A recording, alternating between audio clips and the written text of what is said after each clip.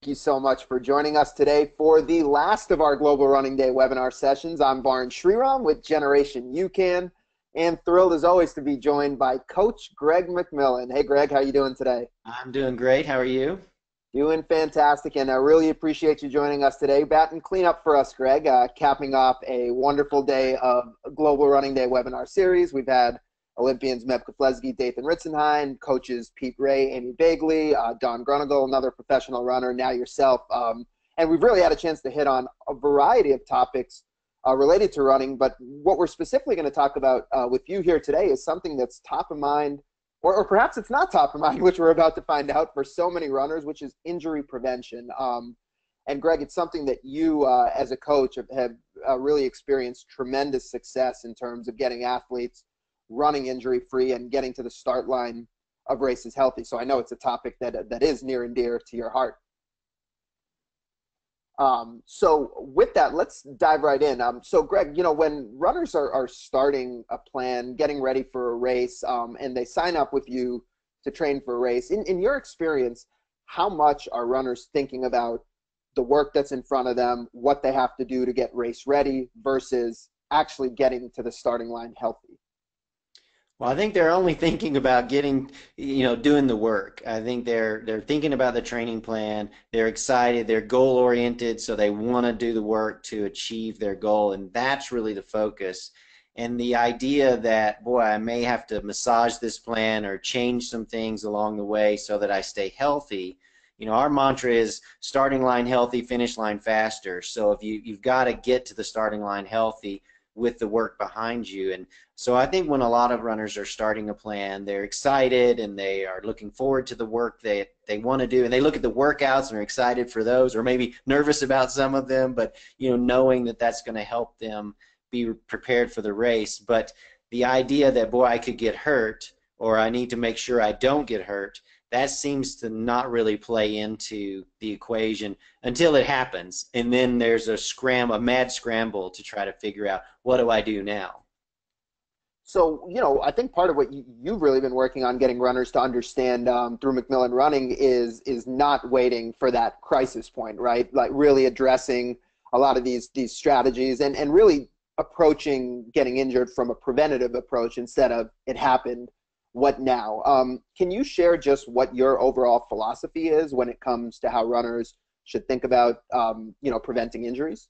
Yeah, we kind of have three strategies that we use that has significantly lowered the injury rate. You know, the injury rate in running is astronomical 60 to 80 percent, depending on the research survey you look at, of runners every year get injured to the point that it interrupts their training significantly. And that's that's insane.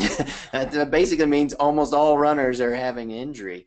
We've been working really for the last three years to uh, our injury rate was already pretty low, but we've really made a conscious effort of like, can we get this as close to zero as possible? We really want to get that rate way down, and we've been able to do it from that 60 to 80 percent that the you know normal population of runners experiences we've gotten ours down to 9%. So I'm really excited that we've been able to keep people running. If they can keep training, then they can get fitter and then they have a better chance of success. So it's really been uh, a primary focus for us. And I'll tell you kind of the secrets, if you will. There's really three things that I think runners have to look at. The first is they have to get on a smarter training plan. And that involves a smart training plan. There's sort of three components to it. There's there's daily wiggle room is what I call it. And that means that on a daily basis, whatever your plan is, it should have a range of running. It shouldn't be just one number. So for example, if your training plan says go run five miles, well, five miles when you're feeling great is not a, that big of a stress to you. But five miles if you're really tired because your kid was sick up all night and then you had a hard work day and you're not feeling great, then that five miles is really challenging. So I think smarter training plans have a range. All of my plans have a range for every day. So if you're feeling great, do the upper end of the range. If you're feeling kind of normal, do the middle end of the range. And if you're not feeling good, do the lower end. As a coach, I know that that's going to be just the same stress, even though you're doing a little bit less. And that's a great way for athletes to be able to modify their training on a daily basis based on how they're feeling. That way, they don't get into those situations where they're forcing something, and then later they're going to pay for maybe forcing too much training. So that's kind of one component of that smarter uh, training plan, and it also empowers the runner to feel like they can modify their plan. Because you know us runners we're kind of crazy. We we're goal driven we if it's on the page we're going to do it. So if you give them a range then they're like okay as long as i'm in the range i'm doing the plan as opposed to oh i was supposed to do five miles and i could only do four because i was super tired oh i'm failing at the plan that's not the case that's pretty fascinating, Greg. And, and you know, right off the top, you mentioned this, and, and you just said it again that with so many runners being goal goal oriented people, you know, kind of seeing something on the page and then feeling like you can't do it, you know, maybe runners wouldn't normally allow themselves to do that. If it's on the paper, I got to do it. So is this um, idea of wiggle room something that you kind of developed um, over time as, as you were coaching more athletes and, and this was something that you kind of understood athletes needed or was this something that you had kind of believed in from the very start, maybe based on your own experience? Well, working with so many athletes, you start to realize that, you know, and when you work with them closely, like I have, I mean, I've worked with, you know, beginning runners in marathon charity programs up to Olympic athletes and that sort of situation. And so you're really attuned to, wow, I need to have a range for these athletes so that they, you know, because a lot of great coaches, when they're watching an athlete workout, they'll stop them early. And that's mm. because the coaches recognize that athlete has gotten all the stimulus they need for that day. We're good. But the athlete, if they just see it on the paper, then they may, you know, want to force it. So I think this idea of being able to modify based on how the athlete is feeling is is really critical. And I I think that's and that's certainly that's why in all my plans you'll see a range for every day so that the athlete does feel empowered. I can adjust this based on how I'm feeling. So that's a really I think key component to that situation. And the second component of, I think, a smart training plan is having wiggle room in your week so that you've got options of I can move things around. I can spread the stress, if you will. So if I'm feeling tired, bump a workout another day or change the workout so that it is a little less stressful because your life stress is greater. So having wiggle room where you've got some options for, you know, cross training days, recovery days, workout days that can be shifted around, having that ability to move because most of us, our weeks hardly ever turn out the way we think they're going to when you sit down on Sunday or Monday and you're like, this is how my week's going to go. Almost always, work gets in the way, family gets in the way, stuff changes, and so you've got to have that wiggle room. That again empowers the athlete to be very attuned to their body. Because if you think about all the great coaches always say, listen to your, your body, listen to your body that's what they're talking about is hey let's shift things. Let's move things around. So i think smart programs have that. That's why again i've included lots of those options of hey this is a great day to go for an easy run. But if you're tired why don't you do some cross training? Or if you're really tired just take the day off. So it gives the athlete a little bit of ownership. Again and we were talking about this before instead of the the athlete being forced into the plan. It, the plan should be modified for the athlete. It should work with the athlete, not against the athlete. So that's another one of those key parts of a smart training plan. So when we're talking about wiggle room, um, and you know perhaps it might be different for different distances, but but getting back to say like both the daily and the weekly wiggle room, um, in a marathon plan, for example, what are we talking about in terms of mileage? Say in terms of variance on a day before the I'm feeling great versus the I'm really not feeling it today. And then same in a week. You know, what is kind of when you think about wiggle room, how much of a variance are we talking about in terms of the high end versus the low end, both from a daily standpoint and from a weekly standpoint? Well, it could be a lot, right? So again, going back to that, hey, you're the in my as a coach, I'm thinking, boy, five miles would be great for this athlete on a regular day. But if they felt great, maybe they would run six miles. If they didn't feel good, maybe it's four. So maybe the range is four to six miles, or it might be 30 to 40 minute runs, something like that. Uh, if you're time based, which I do a lot of time based training. Uh, again, so the athlete can adjust based on how they're feeling. And for the week, it can really vary because if they're really tired, then maybe they've got uh, an, an, extra day off and you start doing an extra day off and then you're running the low end of the ranges, well, you can have a reduction in training volume. But I don't care necessarily if it keeps them healthy. I know I'd rather have a 20% lower volume during that week where you're at risk for injury but you can keep training as opposing as opposed to, oh, I'm worried that I've got to hit this exact mileage level or I won't achieve my goal.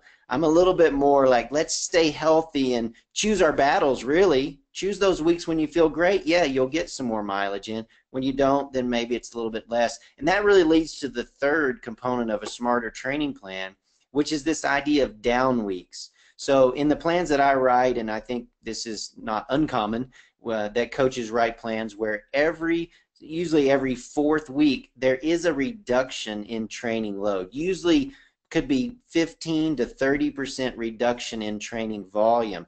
Again, just to allow the musculoskeletal system to recover. Because one of the things that runners often don't understand, particularly newer runners, is that the cardiovascular system and the mental system are sort of your gauge of effort.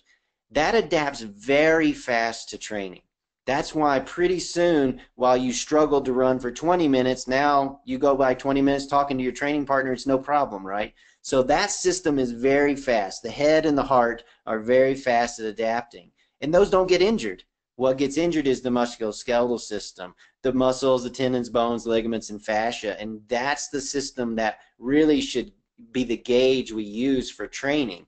And so when you do these down weeks, and if you're really injured frequently, then maybe it's every second or third week is a down week. And then more, most people get by with every fourth week being this reduction in training. Again, could be 10% reduction, could be 30% reduction, depending on your injury rate and whatever.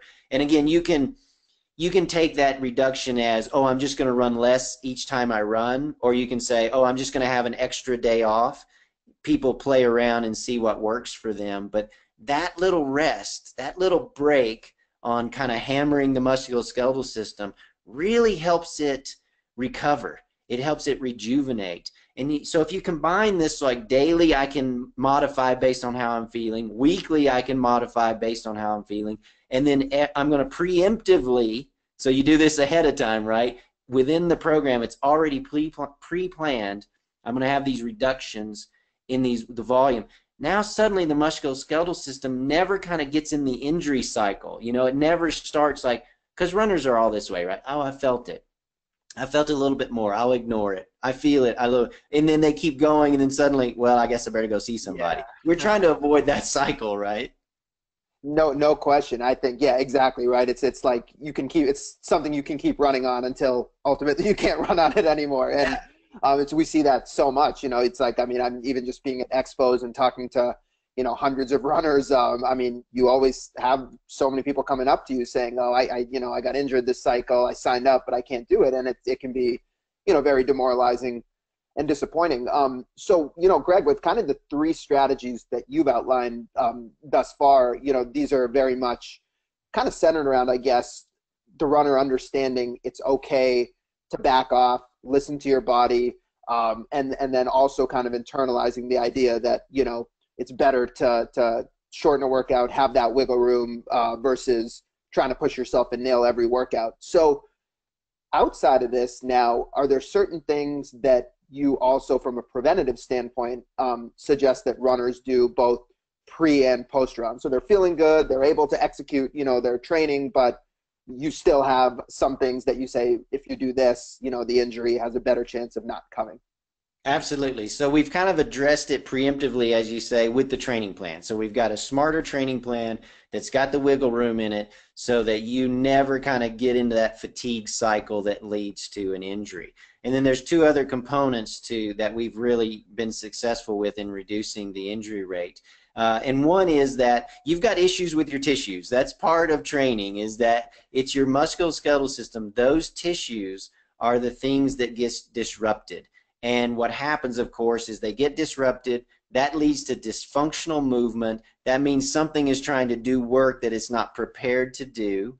And so then you get an injury. So you have to take care of your tissues before and after each run. We've got a what we call our prehab program. So it's three movements that you should do before your runs, and we take it from you know head to toe and back again to teach runners, hey, here are little things that you can do. Spend two or three minutes being more prepared for the run. That preps your tissues for the activity that you're going to do.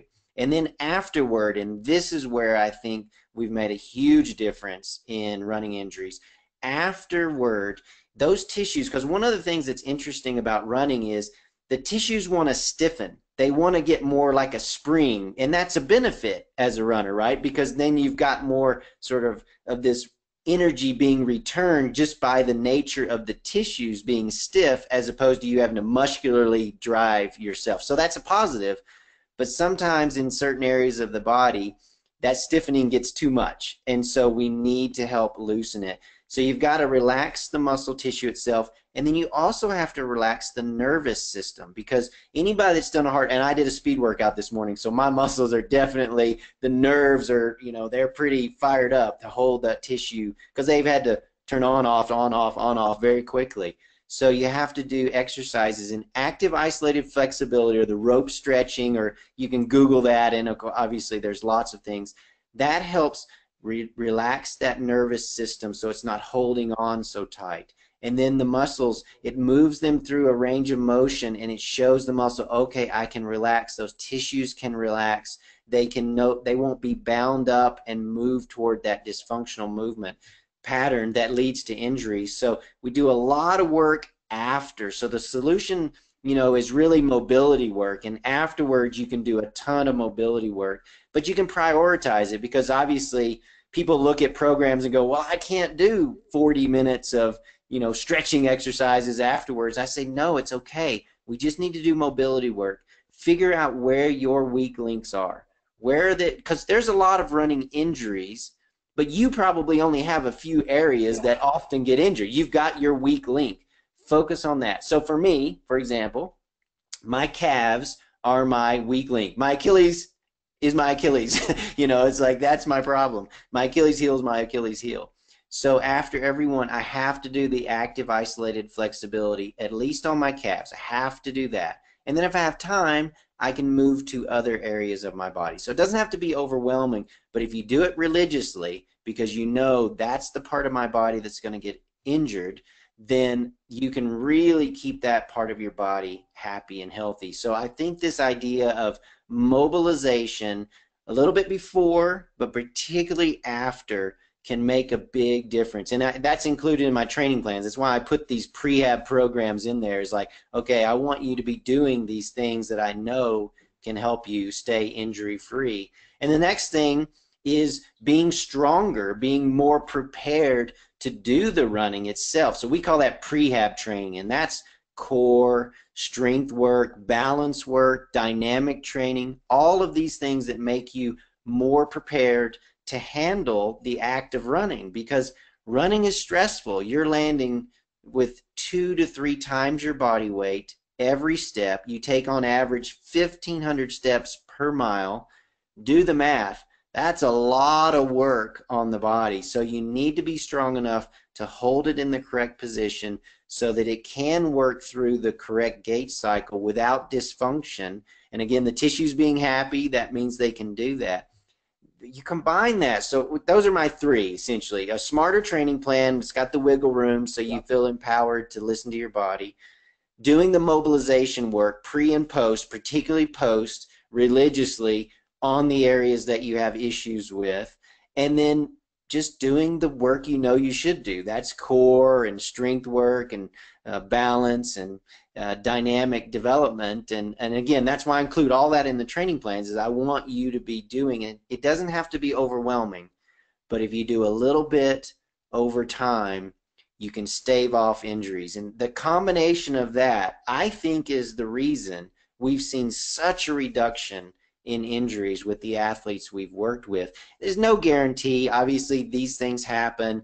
Uh, be probably impossible to get to zero maybe, but I just feel so good that instead of six or eight out of ten runners is having an issue, we're down to less than one uh, through a training cycle, and that allows an athlete to get fitter, but also stay motivated. They're so excited. You take these down weeks and you're recovered and you're excited for the next session of training and that improves the quality then you go to the race you've got a fit athlete that's super motivated and they're healthy that's why we get such great results i think because because of that Yeah, that I mean those those numbers that you shared. I mean that's that's that's amazing. I mean that that's a stark contrast when you talk about 60 to 80 percent of runners getting injured versus one in 10 runners that you see um, after going through your program. And, and some one of the things you've mentioned, Greg, kind of the way you've talked about this a, a few different times is is I guess you're not really looking at the preventative stuff as supplemental to your training. You actually build it into your programs, like you've said, and, and, and look at it as part of training. So I just wanted to ask you about sort of that mental approach. How do you feel that that helps runners when they don't consider some of these techniques like kind of something outside of their training, but they actually internalize it as like, hey, this is just as much as part of the training as you know the 14 mile long run or whatever it might be. I think it's helpful when the coach is saying you got to do this. you know, that certainly makes it easier for the athlete to to do it, but it's also and you mentioned it earlier, it's preemptive. We're trying to avoid the situation where you're four, six, eight weeks into your training plan for your big race. Suddenly you've ignored something that's been bugging you, and now you're scrambling to find a therapist to work on you who understands runners, and then how are you going to modify the training, and you end up limping to the starting line. So we kind of start at the outset with, okay, we've designed the programs, we got different level programs, you know, for each athlete, depending on, you know, there's like a little plan picker that I have, that a recommendation tool that says, answer these questions, it'll tell you the right level of plan for you. But we've started out with saying we're going to take these down weeks You've got the authority from me that you can modify the weeks. And hey, remember, you need to be doing your core today. You need to do this strength workout today. You know, giving them options like that so it's right front and center. Nothing, you know, it's not crazy extensive. You don't have to quit your job to be a runner.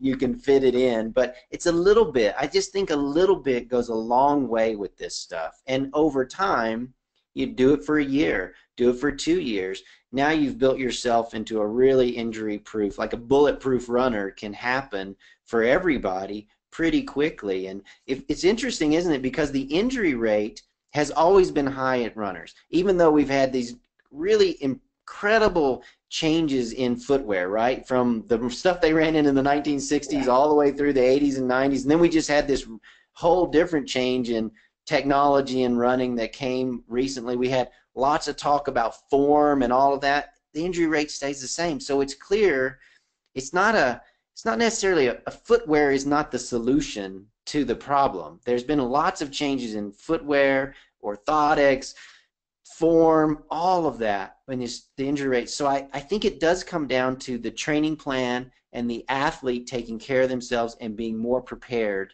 for the training. So I kind of have that viewpoint of like,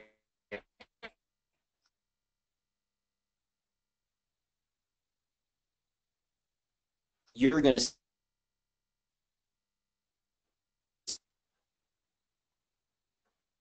Oh, lost you there for a moment. You're back. So um, go ahead, Greg. You oh, were saying you, you have that viewpoint. That. no, you're all good. So you were starting to say you have that viewpoint, um, and then we lost you. But go ahead that's our viewpoint coming out is that we're going to keep you healthy. We're going to do this in a smart way. I know the workouts that you need to do to build the fitness. We just need to get those workouts in. We got to take care of ourselves along the path so we can get those in. And we'll be open to changing based on how your life goes and how you respond and adapt to the training.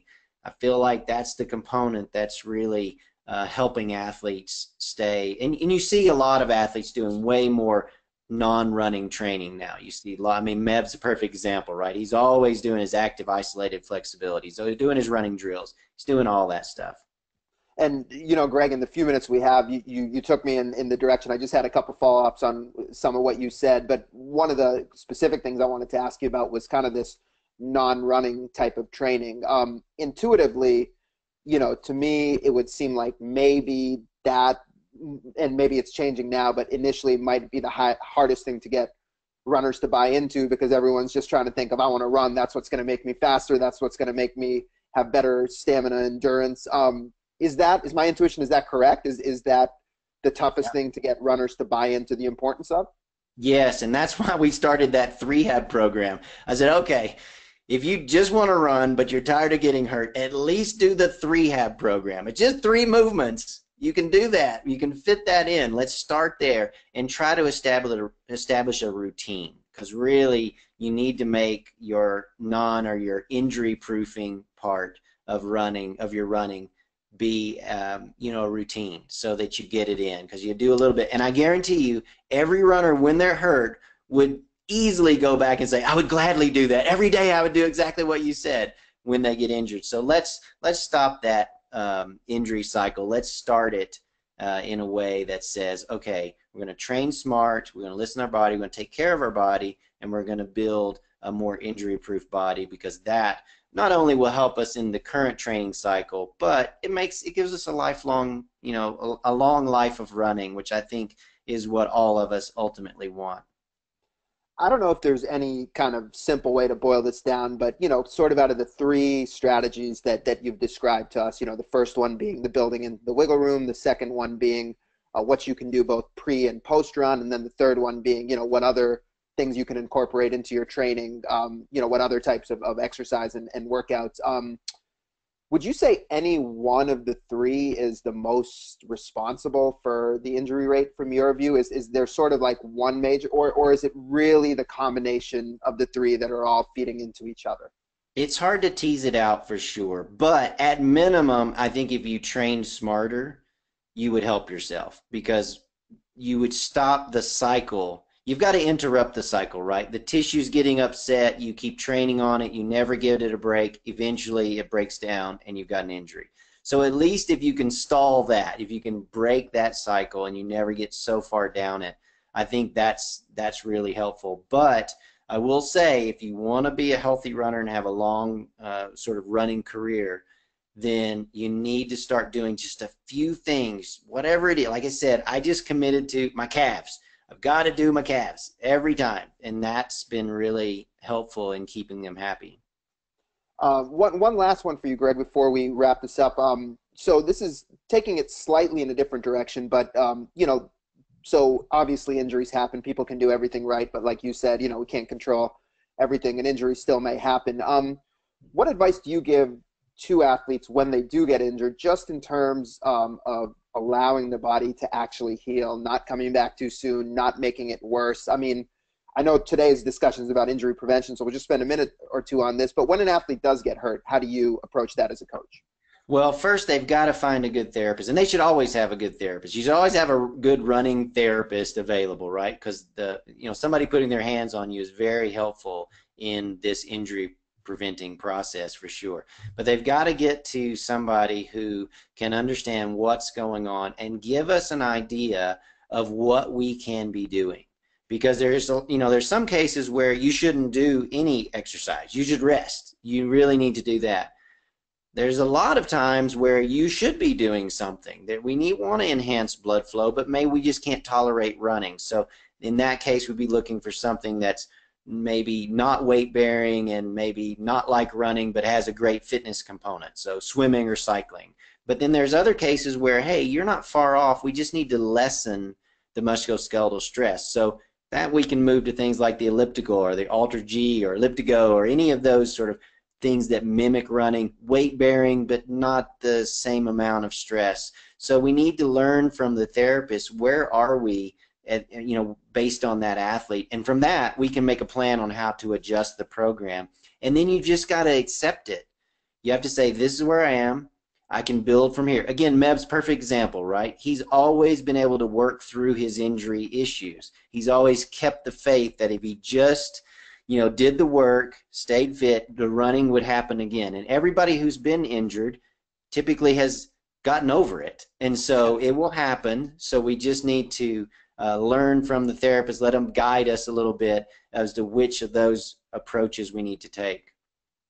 It's fantastic, Greg. It's some great, great info. Um, I think people can take away a lot of specific things that they could uh, should um, you know consider and, and implement, but also kind of just helpful to, to get the big picture perspective on, on how people should view all of this as well. Um, so I know you mentioned that the, the injury prevention is part of your training plans, and, and you have a ton of training plans available for folks of all different distances and, and really customizable for uh, different levels of running. I know you've been working with us to put together a plan for one of our UCAN employees who's trying to run his first marathon. Um, so how can folks get um, you know access to the McMillan training plans um, with the injury uh, prevention component being part of this? Super easy. Just go to McMillanRunning.com. That's my website. Uh, there's a McMillan Running calculator, which a lot of people use, and as part of using that calculator, it will give you a training plan recommendation, and then you can view that plan, you can preview it, you can see other plans that might work as well, and I've got a whole library of plans uh, to help athletes. Uh, four different levels for each different distance, and you can kind of go through the training plan selection process. It helps drill down exactly the best plan that would work for you. And then in that plan, you'll see it'll have here, go watch this video. This is the prehab routine I want you to do today, or that sort of thing. So it's it's a really great setup. I think we just released those um, a few months ago, so that we released the full library of all the stuff I've been doing for all these years with these personal co coaching clients that have had such a low injury rate. So I'm excited that more people can kind of use the system and uh, hopefully have the same great results. So it's pretty easy. Um, just built all that functionality. Just answer those questions and it'll tell you this is the plan I think is for you. And if you have a question, my email's right on the website, so you can just email me and I'm happy to try to help uh, guide you in the right direction. Well, that's awesome. And then, you know, Greg, like you mentioned with the video content, I think that's a, a, tremendously valuable resource for folks to even understand some of the specific movements and exercises they should be doing. So, like Greg mentioned, that's all built it right into the plan. Um, Greg, really want to thank you for your time. A really interesting discussion, really great information from you as always. Um, so just really appreciate you uh, sharing this with us because as you know better than, than I do, but but like as I mentioned, as I see all the time, we go to these events and half the people you talk to are speaking about an injury they're just getting over or telling you about something that just started to hurt. So it's so so you know top of mind for virtually every runner out there. Um, so really and great to get some strategies. I'm sorry, for me as a coach, it's so stressful. It's so disheartening to have somebody who's doing all this hard work. They've changed their life. They're able to do things that they, they couldn't do before, and then it gets cut short with an injury. It's just so terrible. And so I'm, I'm really, I think all of us in the coaching field, we're working hard to like, we're going to change this. We're going to make it better for the athletes so they don't have to endure that. Yeah, and then that's not even to get into you know the t- the money that people are spending on signing up for these races and getting right. there, right? So yeah, disheartening in all yeah. sorts of ways. Um, well, anyways, just wanted to thank uh, you so much, Greg, and and thanks to all of our guests today. Really had a tremendous lineup of, of webinars for Global Running Day. So for all you that have tuned in, for all you that signed up, um, stay tuned. You will be getting recordings of all four sessions, including this one, by email um, in just a little bit. So with that, we will be signing off for the day. I'm Varun Sriram, and Greg, thanks again. Really appreciate you being part of this and look forward to having you on again soon. Thanks. Great to see you as always. Take care.